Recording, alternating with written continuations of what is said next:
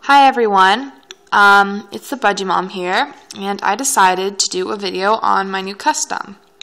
Uh, it's um, it's a German short-haired pointer. It, it's obviously a dog. I, I, have been behind on my horse making um, things right now, so I haven't done a horse custom in a while. But I'm actually working on a Breyer um, stablemates one. But um, let's focus the camera. I'm trying to focus. Sorry. Um, it is on the Dalmatian mold. Um, I think she turned out pretty well. Um, you can see the little. I'm using my cell phone to record this because I lost my camera. So I'm trying to focus it.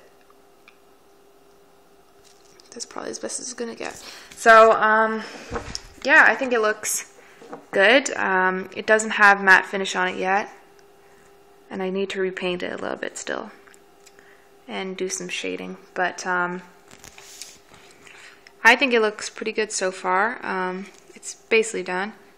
And then my initials, and then 2012. And then the paws are really messily done because I didn't work that hard on it.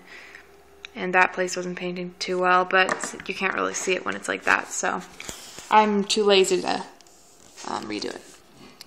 But I think the Dalmatian mold did good for this.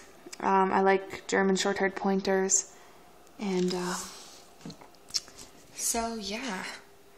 Uh, I'll try and get a video of my Breyer custom that I'm working on um, right after this. So hope you enjoyed the video. Um, so yeah, bye.